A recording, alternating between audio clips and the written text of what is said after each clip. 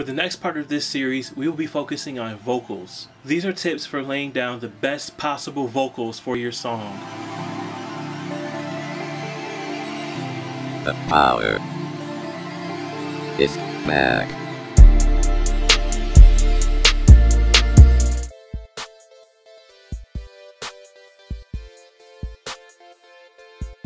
Now that we've written our masterpiece, it's time to actually make it. The first part of this process we will tackle is putting the words to a beat. This series is encompassing all of popular music, so this information will be useful for rappers and for singers. From my own personal experience, I found that many singers struggle with this part, with putting words to a rhythm, mostly because singers don't have to think about this. I've come up with an illustration for this process. First, when you listen to a song, you have to learn how to clap out the tempo. Put on a metronome. You can actually go to Google and type in metronome and you get a free metronome right on your computer. And there are also plenty of apps that you can get for your phone to use for a metronome. Put on a tempo, clap your hand to match the tempo you put in. Once you develop somewhat of an internal clock and you can clap your hands evenly without the metronome on, you can just clap your hands without the metronome to feel the beat for this next part. So very quick info about this. I mentioned the term BPM. BPM is beats per minute. When you enter the BPM into a metronome, it will create that number of evenly spaced clicks over the course of one minute. The next point to understand is beats and bars. Each time you hear a metronome click, or each time you clap your hands to the beat of the song, that is one beat. A bar, or also more properly called in music, a measure, that is a group of beats. So, for the most part, in popular music that we Americans are listening to, there are four beats in each bar. So every time you clap and you count to four, you start over and count to four again, you start over and count to four again, you keep that going. There's other numbers of beats that can be in a bar too, Sometimes you might hear three beats in a bar. Usually we hear that in ballads in our music, but there's other times you can hear that too. And sometimes the number of beats per bar can change over the course of the song. For the scope and experience level that this is intended for, we're not going to cover that, but just know that that's a thing.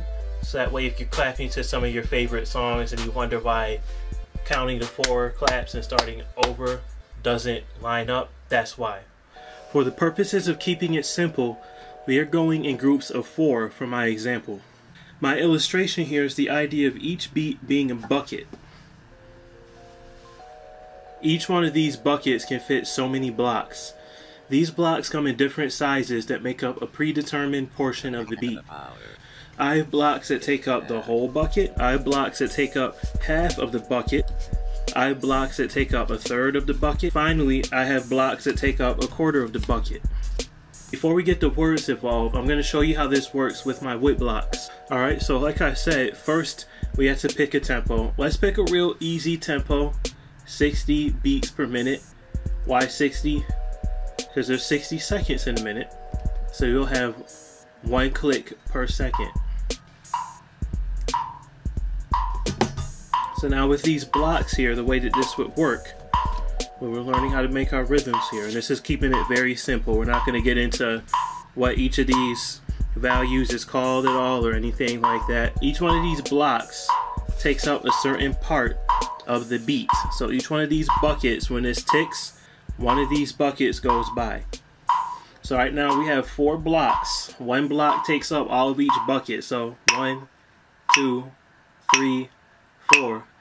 One, two, three, four. Get the idea?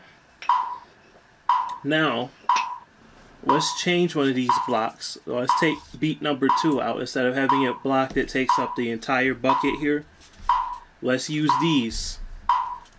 These blocks that only take up half of the bucket. So now we need two things to happen in the, in evenly spaced in the course of that bucket. So we go one, two, three, four. One, two, three, four.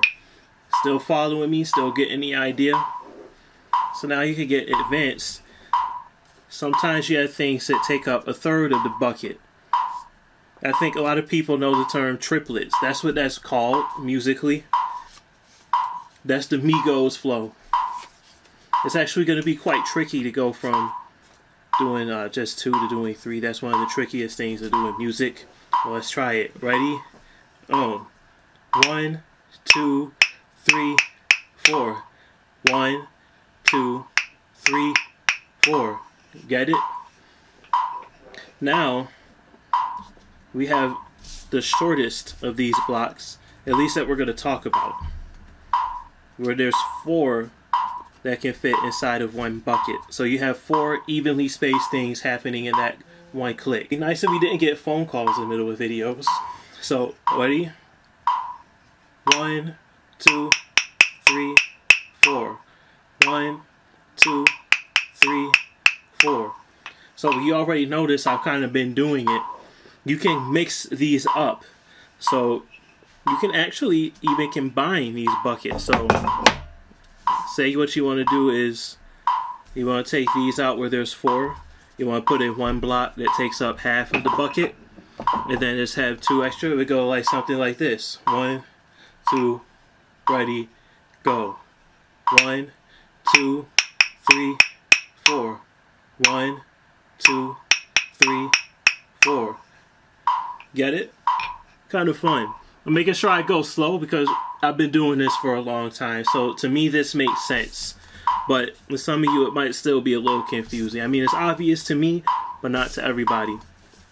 So that's how this works. So basically, when you're coming up with a rhythm, you guys can use this block system and think of this in your head. You can take these blocks that are a duration of time, because that's the best way to think of rhythm. It's the durations of time put them in each of these four buckets, and as you're counting, this is how many things happen inside that one bucket, or that one click of the metronome, or that one clap. So now that we've talked a little bit about how this bucket system works, let's get the words involved. So we have our masterpiece here. This is my one bar worth of lyrics. So the idea here is we want to take these words break them down into each syllable. These syllables, once we break them down, and correspond to a block. So let's do that to make it make sense. We know we have I, and if, if we don't know what syllables are, I don't know what to tell you. We have I, love, right, ting, music. I love writing music. That's how many syllables that this makes up. So now, let us go back to our blocks and come up with some different ways that we can arrange these six syllables into a beat.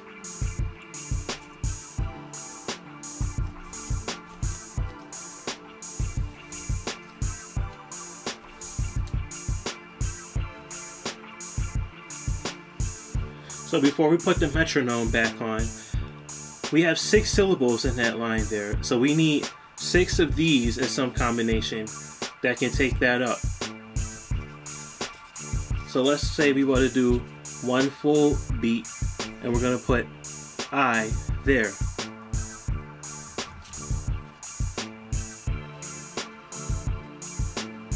Let's say we want to go love is half.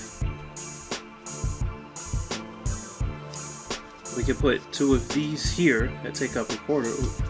This one sixteenth on the other side. That's a technical term, but we're going to cover that in a future video. Writing.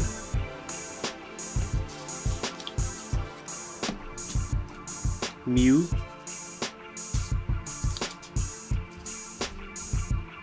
Sick. So, we have these spaced out lyrics put to these blocks, put to the beats. So let's bring the metronome back into this. We're going to stick with 60 beats per minute. First, before we even say the words, let's just remember what would this sound like without the words. So we have one note taking up for the first beat, one note taking up half of the second beat, two notes each taking up one quarter of the second beat, one note taking up the whole third beat, one note taking up the whole fourth beat. So we're going to go See? Understand that? Let's hear it again how that would sound.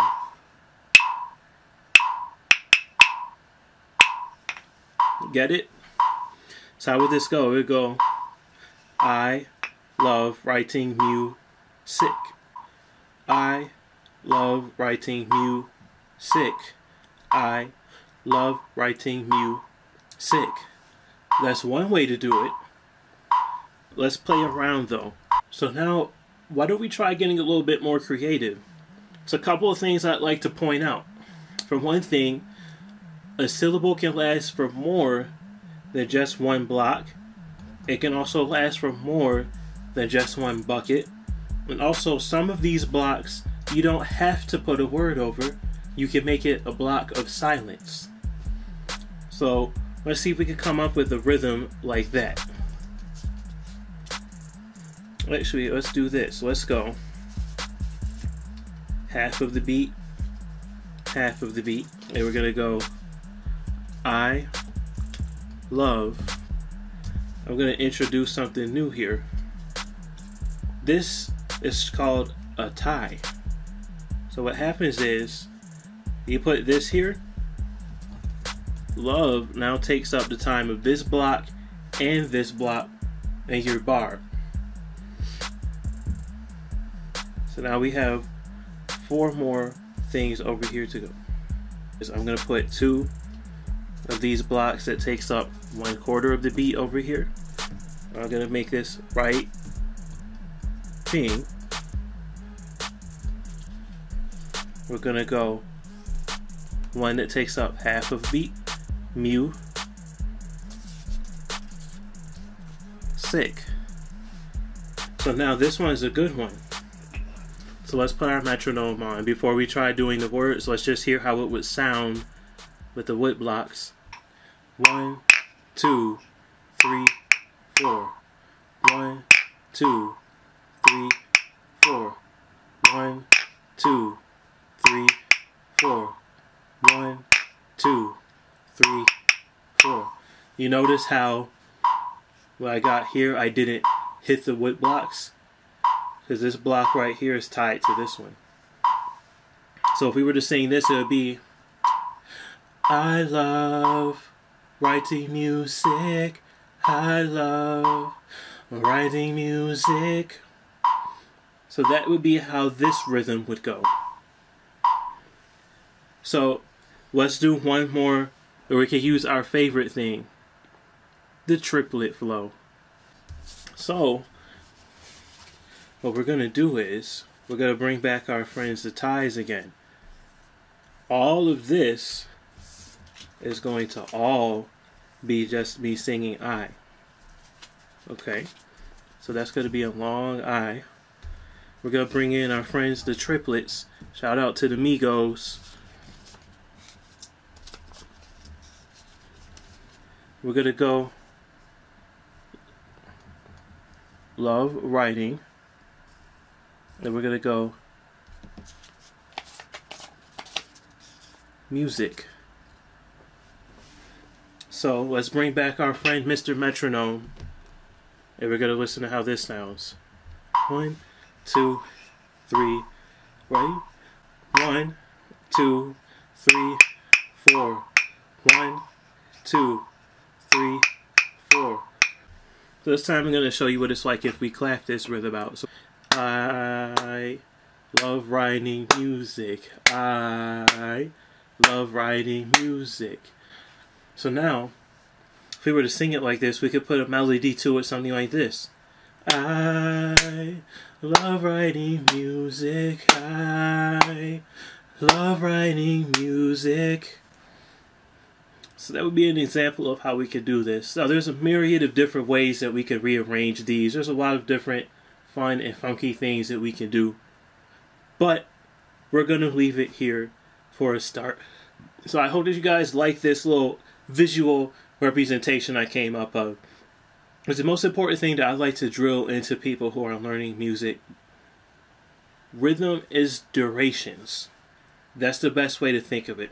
Every time you clap your hands, one of these buckets is passing by. And inside of each of these buckets, you have so many evenly spaced out notes.